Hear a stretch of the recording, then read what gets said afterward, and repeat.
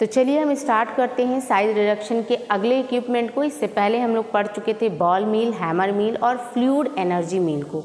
Next हमारे दो equipment size reduction में बचे हैं that is it's runner mill and end runner mill मैंने यहाँ पे दोनों एक साथ बनाया है, क्योंकि दोनों एक साथ हम इसको कंपैरिजन करके पढ़ेंगे तो हमें जल्दी याद होगा। सबसे पहले हम इसके कंस्ट्रक्शन की बात करते हैं, कि ये कैसे बने हुए हैं, इसमें क्या क्या लगे हुए हैं। आपने ये फिगर देख लिया तो ये हमारा है इट्स रनर मील यहाँ पे हमारे ये दो रोलर लगे हुए हैं। ठीक है? यहाँ पे हमारे दो साफ्ट लगे हुए हैं। एक हमारा बेड है यहाँ पे और इसके अंदर हमारा है मटेरियल। ये जो ये जो दोनों रोलर है, ये या तो स्टोन के बने हैं या हमारे ग्रेनाइट के बने होते हैं। ये काफ़ी मज़बूत होते हैं। और काफ़ी भारी होते हैं। ये जो दोनों साफ्ट हैं, ये क्या करता है? एक साफ्ट क्या करता है? इस रेल रोलर को अपने एक्सिस पे घुमाता है और एक साफ्ट क्या करता है? इन दोनों रोलर को पूरे बेड पे घुमाता है, ठीक है? तो ये अपने एक्सिस पे भी घूमते हैं और ये क्या करते हैं? अपने चारों तरफ़ बेड पे भी घूमते हैं। और ये इसी चीज़ में हेल्प करते हैं। यहाँ पे हमारा जो बेड लगा हुआ है, यहाँ पे हम क्या करते हैं, अपने मटेरियल को पुट करते हैं, जिसका भी साइज़ रिड्यूस करना होता है। ये हम अपने मटेरियल को पुट कर देते हैं और जैसे ही ये रोलर काम करना, घूमना शुरू करते हैं, ये इनको साइज़ इनका रिड्यूस करना शुरू कर देते हैं। तो ये हमारा हो गया कंस्ट्रक्शन यहाँ पे हम इंड रनर मिल की बात करते हैं।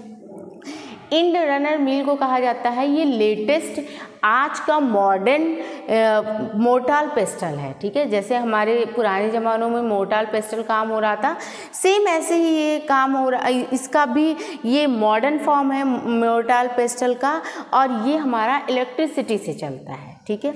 ये भी हमारे यहाँ पे क्या है? एक यहाँ पे ये पेस्टल लगा हुआ है। ये जो स्ट्रक्चर है, इसे हम कहते हैं मोटार कहते हैं। यहाँ पे एक स्कैपर लगा हुआ है। यहाँ पे हम अपने मटेरियल को पुट करते हैं, रखते हैं। यहाँ पे ये जो पार्ट है, ये हमारा मोटर से कनेक्ट होगा, तभी ये चलना शुरू कर देगा, ठीक है? तो क्या है ये मो, ये पेस्टल है और ये क्या है? मोटाल है, ये इलेक्ट्रिसिटी से चलेगा।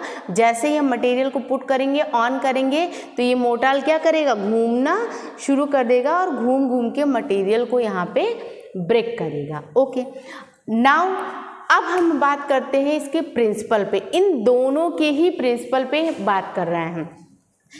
क्या हो रहा है? जब ये दोनों रोलर इनमें मटेरियल पुट किया जाता है और इस मोटाल में भी मटेरियल पुट किया जाता है तो ये दोनों ही रोल करना अपने एक्सिस पे शुरू कर देते हैं।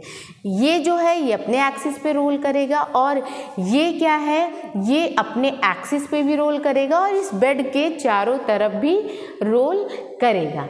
ओके तो जब ये रोल करेगा तो ये मटेरियल इसके अंदर जो भी है, वो क्या करेगा? उसको बहुत ज़्यादा क्रश करेगा। उसे क्या करेगा?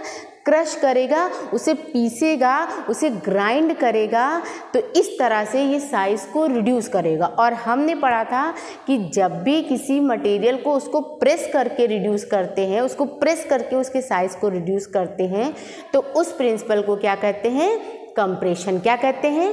कंप्रेशन तो ये दोनों ही मील कंप्रेशन के मैकेनिज़्म पे काम करते हैं। कंप्रेशन के मैकेनिज़्म पे काम करते हैं। तो इन दोनों का प्रिंसिपल क्या हो गया? कॉमन हो गया कंप्रेशन क्लियर समझ में आ गया? नेक्स्ट हमारा है कि ये काम कैसे कर रहे हैं? वर्किंग स्टाइल क्या है? कैसे काम कर रहे हैं? जो इसका कंस्ट्रक्शन है, वैसे ही इसकी वर्किंग स्टाइल कैसे हमें जो भी मटेरियल यहाँ पे रखना है, जिस भी मटेरियल का साइज़ रिड्यूस करना है, यहाँ पे हम रख देंगे, वो और ऑन कर देंगे, ये दोनों ही घूमना शुरू कर देंगे और क्रश करना शुरू कर देंगे। किसी किसी बुक में ये भी लिखा है कि इट्स रनर मिल कंप्रेशन और एक्ट्रीशन दोनों प्रिंसिपल पे काम करता है। तो अगर आप कंप्रेशन लिखते हैं तो भी सही है। और अगर आप चाहें तो कंप्रेशन और एक्ट्रीशन दोनों ही लिख सकते हैं। क्यों? क्योंकि जब ये रोल करेंगे तो क्या होगा? ये जब क्रश करेंगे तो कुछ मटेरियल्स आपस में भी रगड़ के टूट जाएँगे, है ना? तो आप यहाँ एट्रीशन भी लिख सकते हैं। तो क्या होगा? ये दोनों रोल करना शुरू करेंगे तो क्या होगा? मटेरियल को क्रश करना, दबाना उसे शुरू कर देंगे और इसी तरह से ये अपने, ये मटेरियल के साइज़ को रिड्यूस करेंगे। नेक्स्ट हम बात करते हैं यहाँ पे इंड रनर मील की बात करते हैं तो क्या होगा? जैसे ही हमने मटेरियल को पुट करेंगे switch on the motor motor से ये कनेक्टेड है, हम इसको स्विच ऑन करेंगे। ये पेस्टल क्या करेगा? घूमना शुरू कर देगा वर्क करना अपना शुरू कर देगा और ये क्या करेगा? मटेरियल को क्रश करना शुरू कर देगा और ये क्या करेगा? मटेरियल के साइज़ को रिड्यूस कर देगा। तो ये रहा इसका वर्किंग वर्किंग स्टाइल ये ऐसे काम करता है।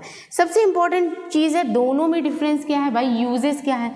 तो अगर हम इट्स रनर मिल की यूजेस की बात करते हैं तो ये जो रनर मिल है, ये यूज़ होता है टफ मटेरियल को। टफ मटेरियल को ब्रेक करने के लिए और प्लांट बेस्ड मटेरियल को ब्रेक करने के लिए। प्लांट बेस्ड मटेरियल को ब्रेक करने के लिए यूज़ होता है। तो हमारा जो इर्ज रनर मील होता है, ये टफ मटेरियल टफ मटेरियल कौन से? जो बहुत ही सख्त होते हैं। जैसे एक आप ले लीजिए टाइल्स ठीक है? कोई भी स्टोन लीजिए कोई पत्थर ले लीजिए और एक आप ले लीजिए ईटा तो क्या होगा? जो हमारा पत्थर आएगा वो किसमें आएगा? टफ में आएगा है ना? क्योंकि वो उसमें बहुत ज़्यादा ताकत लगेगी तब वो ब्रेक होगा। वहीं अगर आप ईटे की बात करते हैं तो उसमें हमने आ, क्या थोड़ा प्रेशर लगाया तो वो टूट जाएगा ठीक है? तो टफ मटेरियल कैसे होते हैं? जो बहुत ज़्यादा प्रेशर की ज़रूरत होती है उन्हें ब्रेक करने के लिए।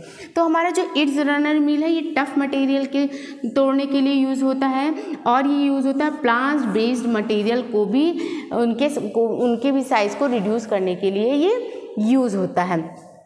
हमारा जो एंड रनर मील होता है, ये यूज़ होता है, ये जो है, इसके, इसमें जो भी मटेरियल हम पुट करेंगे, वो थोड़े टूटे हुए मटेरियल हो। अगर हम हार्ड मटेरियल या टफ मटेरियल रख देंगे इसमें तो उसका साइज़ रिड्यूस नहीं हो पाएगा। तो इसमें जो भी मटेरियल हम रखेंगे, वो थोड़े अन ब्रोकन हो, थोड़े टूटे हुए कंडीशन में हो। तो क्या होगा? थोड़े ब्रोकन कंडीशन के मटेरियल इसमें ब्रेक होंगे। इसमें क्या होगा? मटेरियल को ग्राइंड कर देगा। ये क्या कर देगा? मटेरियल को ग्राइंड कर देगा, उसको बिल्कुल महीन बना देगा। और ये जो हमारा जो इंड रनर मिल है, ये ग्राइंड करता है यूज़ करता है। ऑइंटमेंट की मिक्सिंग के लिए ऑइंटमेंट की मिक्सिंग के लिए यूज़ होता है। पेस्ट की मिक्सिंग के लिए यूज़ होता है। मतलब ऑइंटमेंट और पेस्ट की भी प्रिपरेशन के लिए हम ये जो इंड रनर मिल है, इसका यूज़ करेंगे। प्लस ये plant based plant based material के लिए भी यूज़ किया जाता है। तो अगर दोनों में डिफरेंस देखते हैं तो हम ये देखते हैं कि जो हमारा इस रनर मिल है, वो स्पेशली टफ मटेरियल को ब्रेक करता है। लेकिन वहीं पे जो हमारा इंड रनर मिल है, इसकी में जो मटेरियल चाहिए, वो थोड़े ब्रोकन कंडीशन में हो, टूटे कंडीशन में हो, तभी वो उनको ग्राइंड कर पाएगा, उनके उनको महीन कर पाएगा, ठीक है? इसको हम यूज़ कर सकते हैं। ऑइंटमेंट और पेस्ट के भी प्रिपरेशन में भी इसका यूज़ कर सकते हैं। ये हमारा वेट और ड्राई दोनों ही ग्राइंडिंग में यूज़ किया जाता है। स्पेशली ये भी हमारा वेट एंड ग्राइंड दोनों में ही यूज़ कर सकते हैं, ठीक है? ये हमारा प्लांट बेस्ड मटेरियल में भी यूज़ होता है, ठीक है? तो दोनों में सिर्फ़ डिफरेंस यहाँ पे है। ये टफ मटेरियल तोड़ता है और ये थोड़ा ब्रोकन मटेरियल को ग्राइंड करता है, ठीक है? अगर हम इसका एडवांटेज देखते हैं तो इन दोनों का एडवांटेज क्या है कि इजी टू ऑपरेट है। इसको अगर इंड रनर मील को हमें अटेंशन की ज़रूरत नहीं, एक बार हमने इसको फिट कर दिया ऑन कर दिया टाइमर सेट कर दिया तो हमें इसे उस टाइम पे रहने की ज़रूरत नहीं है। ये अपना काम कर देगा और हम तब जाके अपने मतलब हम थोड़ी देर बाद जाके इसको देख सकते। तो बहुत ज़्यादा अटेंशन की ज़रूरत नहीं है। दोनों ही सिंपल हैं, दोनों ही इजी हैं। ये इन दोनों का ही एडवांटेज है।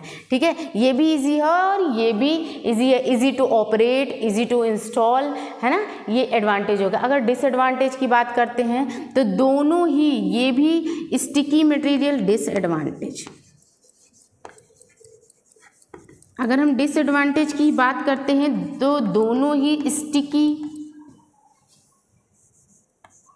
स्टिकी मटेरियल के लिए नहीं यूज़ होंगे। ठीक है? ना ये स्टिकी मटेरियल इसमें हम ब्रेक कर सकते हैं ग्राइंड कर सकते हैं, ना ही हमारा end runner mill sticky material को ग्राइंड कर पाएगा ठीक है? तो इन दो, दोनों का डिसएडवांटेज क्या हो गया? ना इसमें स्टिकी मटेरियल ग्राइंड होगा ना ही इसमें हमारा स्टिकी मटेरियल ग्राइंड होगा। ये भी नॉइज़ पोल्यूशन करेगा ये भी बहुत ज़्यादा आवाज़ करेगा और ये भी नॉइज़ पोल्यूशन करेगा।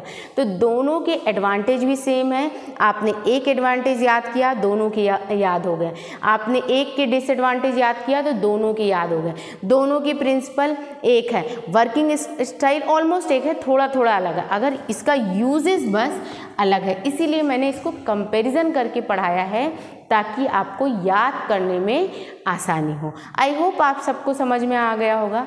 नेक्स्ट मिलते हैं हम साइज़ सेपरेशन के साथ। Thank you so much